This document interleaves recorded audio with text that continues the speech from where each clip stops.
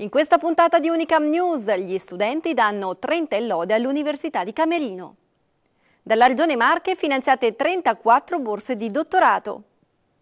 Ad Unicam il primo seminario sul gender mainstreaming. Ancora un successo per il campus estivo a Scuola di Natura. Questi titoli li abbiamo sentiti ma vediamo subito il primo servizio.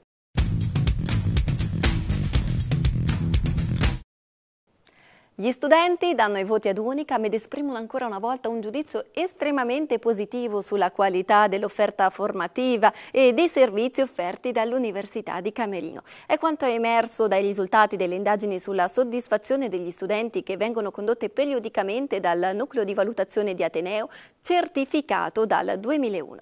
Il 93% degli studenti Unicam si dichiara infatti soddisfatto della propria scelta universitaria e il 94% suggerirebbe ad un amico di iscriversi all'Università di Camerino. In questo particolare momento di crisi che investe l'intero paese, eh, poi emerge un ulteriore significativo dato. L'81,3% degli studenti frequentanti si è detto soddisfatto della congruità dell'importo delle tasse universitarie con i servizi che l'Ateneo mette a disposizione degli studenti.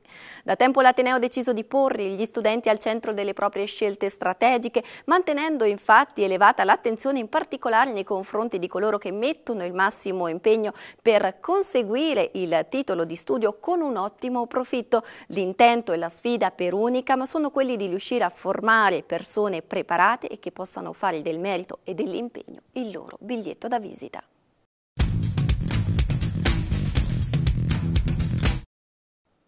Ancora un grande successo per l'Università di Camerino. Sono infatti 34 i progetti Unicam che hanno ottenuto un finanziamento nell'ambito del bando della Regione Marche relativo al cofinanziamento di borse di dottorato in collaborazione con le imprese. Abbiamo incontrato il rettore Unicam Flavio Corradini.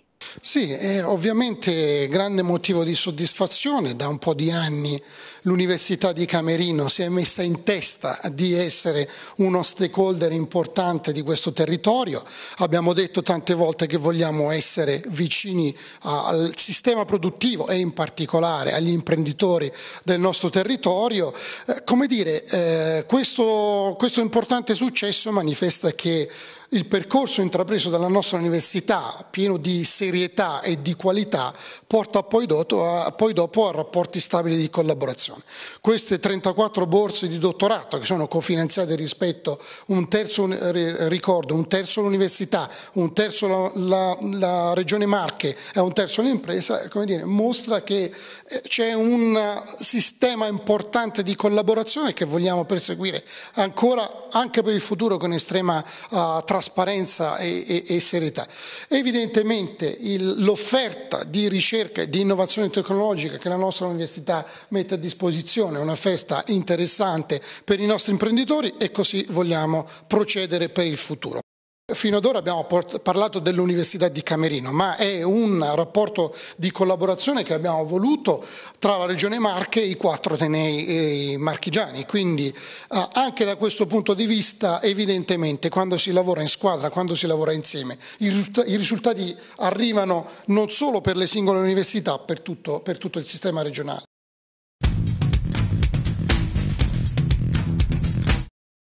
Nell'ambito del progetto Donne e Scienza proposto dal Ministero dell'Istruzione, Università e Ricerca e dal Dipartimento Pari Opportunità, l'Università di Camerino ha di recente istituito la scuola di management del gender mainstreaming, nata per favorire, sostenere e diffondere l'affermazione della cultura di promozione delle parità e delle pari opportunità tra i generi attraverso la formazione e l'aggiornamento di conoscenze e competenze dei soggetti responsabili dell'attuazione delle normative nazionali ed europee.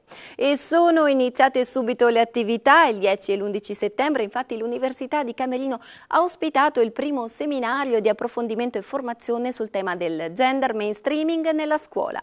L'idea in realtà è un'idea che nasce dall'incontro con il Dipartimento delle Pari Opportunità presso la Presidenza del Consiglio dei Ministri e il Ministero dell'Università della Ricerca e dell'Istruzione. La nostra idea è stata promossa da queste due principali istituzioni e condivisa in un tavolo di concertazione che ha preso eh, avvio già a partire dal 2010. Questo è testimoniato dal fatto che nel comitato scientifico della nostra scuola, che prende avvio giorni, nelle giornate di ieri e di oggi, eh, confluiscono appunto i rappresentanti già di numerose università italiane e eh, dell'associazione Donne e Scienza e poi anche la Conferenza Nazionale dei Comitati Pari Opportunità. Eh, in effetti questa scuola è stata definita una scuola senza pareti perché ha come sede Camerino ma si vanta del fatto che eh, sarà costituita dai maggiori esperti nel territorio nazionale sulle tematiche di genere. Eh, noi siamo orgogliosi naturalmente di essere stati scelti come sede, il compito che ci aspetta è arduo perché si tratta di realizzare percorsi formativi rivolti a diversi settori.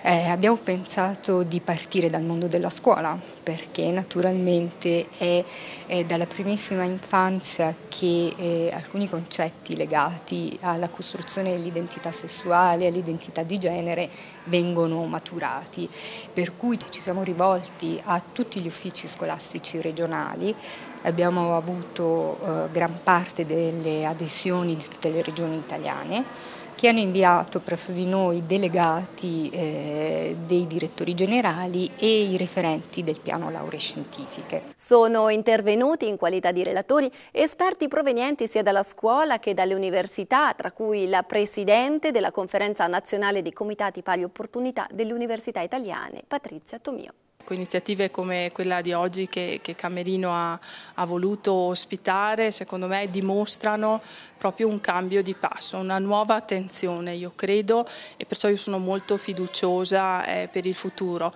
Purtroppo nel confronto diciamo, eh, con il resto d'Europa, soprattutto con eh, l'Europa del Nord, a volte diciamo, non, non, ci sentiamo rassicurati, però eh, io credo che stiamo lavorando molto e non è un caso che eh, per la prima volta quest'anno l'Italia è riuscita a portare eh, diciamo, una, una, propria proposta per l'ottavo programma quadro eh, dell'Unione Europea diciamo, diretto proprio a focalizzarsi eh, sulle, sulle, pari opportunità e quindi eh, credo che da questo punto di vista eh, sostanzialmente l'Italia forse diciamo in una maniera insomma, abbastanza recente, ma comunque è riuscita proprio a promuovere se stessa e essere quasi precursore anche rispetto ad altri stati europei.